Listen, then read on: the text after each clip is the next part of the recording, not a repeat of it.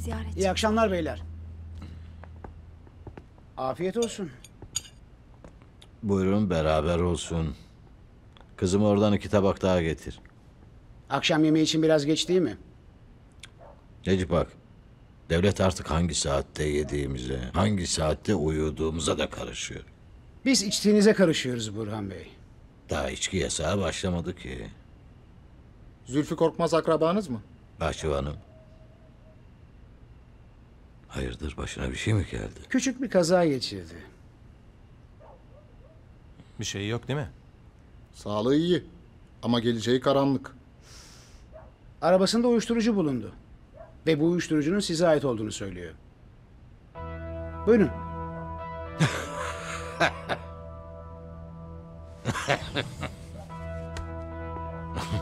Kızım, ceketimi ver.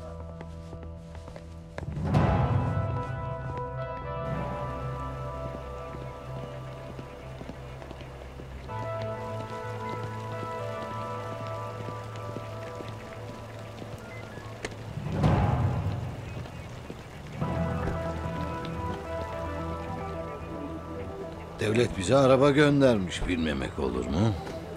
Teşekkürler.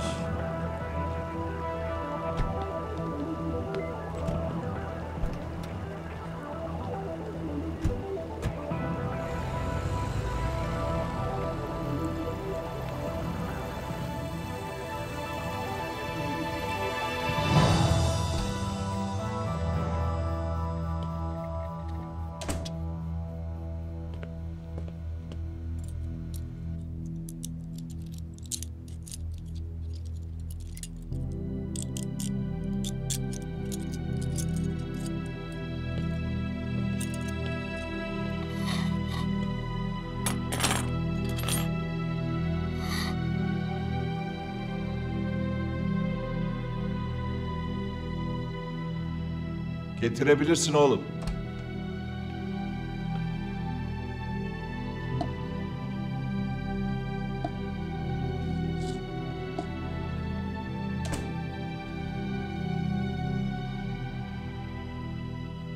Baştan sakin başlayalım Zülfü. Bu Burhan'ın senden alacağım var. Yoksa senin Burhan'a gönül borcun mu var? Kimseye borcum yok benim. O zaman niye koruyorsun Burhan'ı? Onun yerine niye sen yatacaksın? Çünkü onunla alakası yok. Mal benim. Aldığım yer belli. Gidin adamı yakalayın. O anlatsın size. Onu da hallederiz. Hallederiz de... Sen bu numaraları Burhan'dan mı öğrendin? Burhan'ı benden çok sevdiğim belli. Benimle uğraşacağına git onu al. Alayım. Sen konuş. Ben gidip Burhan'ı alayım. Bak Zülfü bu... Bu yaptığına saygı duyuyorum. Kimseyi satmıyorsun. Aferin. Ama bir şerefsiz yüzünden sen kendini niçin feda ediyorsun? Konuşursan sadece kendini değil, bir sürü genç insanı da kurtaracaksın. Benim diyecek bir şeyim yok sana.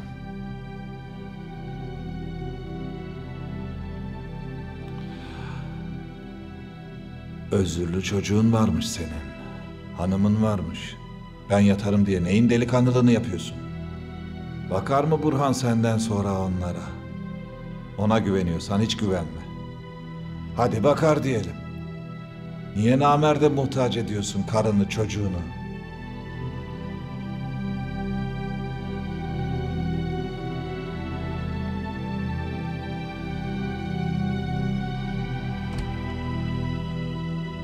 Amirim avukatı geldi. Gelsin.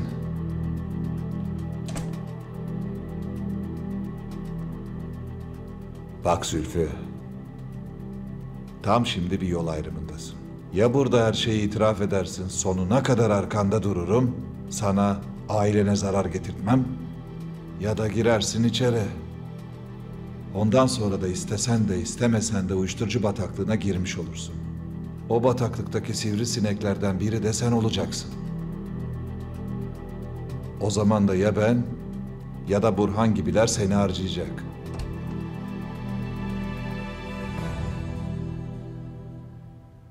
Amirim, anlaşılan sorguya erken başlamışsın. Sorgu falan değil avukat. Biz karşılıklı muhabbet ediyoruz. Biraz da ben muhabbet edeyim müvekkilimle. Müsaade ederseniz. Zülfü. Bu kafayla gidersen sana yazık olacak.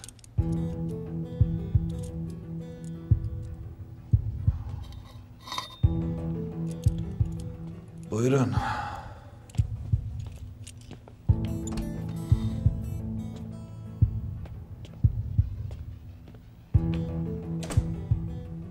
Bakma sen buna. Kafayı taktı Burhan Bey'e nereye saldıracağını şaşırıyor. Kimseye bir şey olmayacak. Hiçbir şey anlatmadın değil mi? Ya bulamadım bu yolum. Nerede bu? Arka sayfada buldum. Allah Allah. Nasıl görmedim ya? Şu şahsı bir araştır.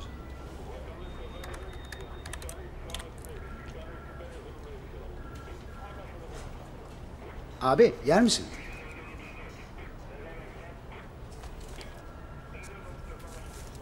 Geleceğimiz bir bahçıvanın iki dudağının arasında. Sen burada çıtır çıtır çekirdek çitliyorsun ya.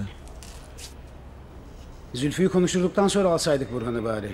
Zülfü'nün malı aldığı adamdan haber yok mu? Onu bulsak da konuşmaz. Tek şansımız Zülfü'nün konuşması. Bu işlerin dışında normal biri. Karısı, çoluğu çocuğu var. Amirim, çocuğunu getirelim. Belki onu görünce çözülür. Zülfü sağlam çıktı. Hiç konuşmamış. Aslanım benim. Bak Necip duyuyor musun? Hani dayanamaz, öter diyordun. Burada konuşmazsa da cezaevinde dayanamaz. Senin derdin Nilüfer'le. Zülfü ağzıyla kuş tutsa yine de yaranamaz sana. Abi. Şimdi burada Turgut Bey'in yanında özel hayatımız. Ondan gizlimiz saklımız mı var?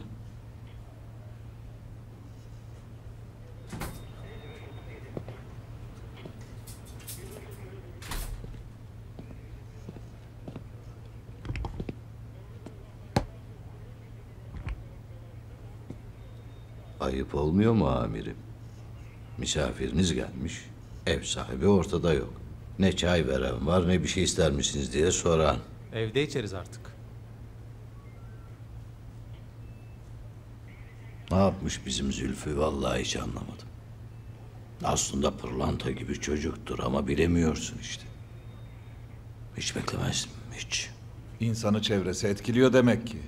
Gördü sizden çocuk. Dedi ki Burhan yapıyorsa ben niye yapmayayım? Bir ithamda bulunuyorsun Salih. Ispatlayamazsan bunun bedelini ödetirim sana. Sen beni tehdit mi ediyorsun? Bir hayalin peşinde koşuyorsun. Artık gerçekleri görmeni istiyorum. Uyuşturucu uyuşturucu bizim kazandığımız paraların yanında hafif kalır. Amirim, ifade alıyorsanız belli bir üslubu vardır. Size hatırlatırım. Daha bitmedi avukat. Zülfü'nün de ifadesi bitmedi. Sizin de ifadeniz bitmedi. Amirim, istediğiniz dosyalar odanıza geldi. Siz bir bekleyin hele.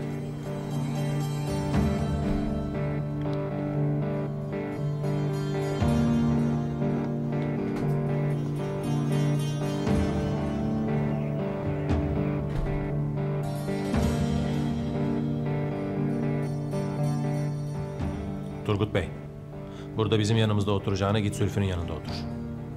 Konuşturmasınlar. Gel. Necip doğru söylüyor. Peki abi.